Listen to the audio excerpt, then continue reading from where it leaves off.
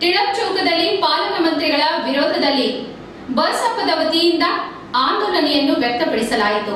ಈ ಸಮಯದಲ್ಲಿ ಆಂದೋಲನಕರ್ತರು ಜೋರಾಗಿ ಘೋಷಣೆಗಳನ್ನು ಕೂಡ ಕೂಗುತ್ತಿದ್ದರು.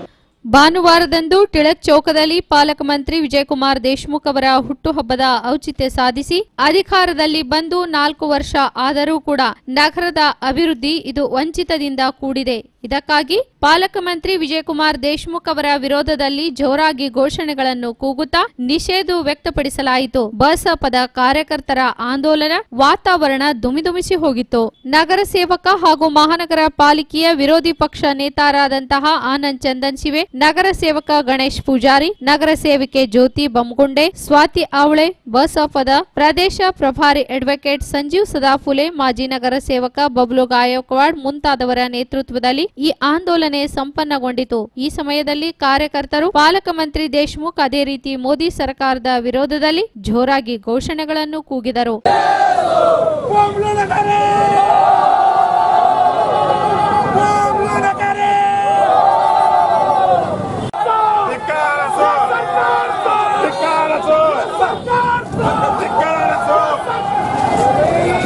ಪೆಟ್ರೋಲ್, ಡೀಸೆಲ್ ಹೆಚ್ಚಳ, ಇದು ಸರ್ಕಾರದ ನಿಷೇಧ ವ್ಯಕ್ತಪಡಿಸಲಾಯಿತು.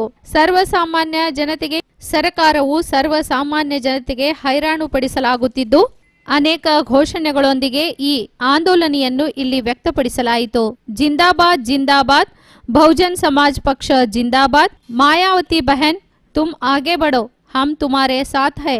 ಈ ರೀತಿಯ ಅನೇಕ ಘೋಷಣೆಗಳು ಕೂಡ ಈ ಸಮಯದಲ್ಲಿ ಕೂಗಿ ಬರಲಾಗುತ್ತಿತ್ತು. ಆರಂಭದಲ್ಲಿ ಪೊಲೀಸರು ಆಂದೋಲನಿಗೆ ಪರವಾನಿಗೆ ನೀಡಲು ನಿರಾಕರಿಸಿದರು. ಈ ಸಮಯದಲ್ಲಿ ಪೊಲೀಸ್ ಅಧಿಕಾರಿ ಮತ್ತು ನೇತಾರರಲ್ಲಿ ಕೆಲವೊಂದು ಕಾಲದಲ್ಲಿ ಪರವಾನಗಿಯ ಈ ವಿಷಯದ ಮೇಲೆ ಶಾಬ್ದಿಕ ಚಕಮಕಿ ಕೂಡ ಆಯಿತು. ತದನಂತರ ಪೊಲೀಸರು ಆಂದೋಲನಕರ್ತರನ್ನು ಆಂದೋಲನ ಮಾಡಲಿಕ್ಕಾಗಿ ಪರವಾನಿಗೆ ನೀಡಿದರು. ಆದರೆ ಆಂದೋಲನಕರ್ತರು ಸರ್ಕಾರದ ವಿರೋಧದಲ್ಲಿ ಘೋಷಣೆ ಕೂಗುತ್ತಿರುವಾಗ ಅವರನ್ನು ಬಂಧನದಲ್ಲಿ ತೆಗೆದುಕೊಂಡು ಫೌಜ್ದಾರ್ ಚೌಡಿಯಲ್ಲಿ ಕರೆದುಕೊಂಡು ಒಯ್ಯಲಾಗಿತ್ತು. ತದನಂತರ ಬಿಡಲಾಯಿತು. ಈ ಸಮಯದಲ್ಲಿ ಅನೇಕ ಪದಾಧಿಕಾರಿಗಳು, ಕಾರ್ಯಕರ್ತರ ಸಾಕಷ್ಟು ಸಹಭಾಗವಿತ್ತು.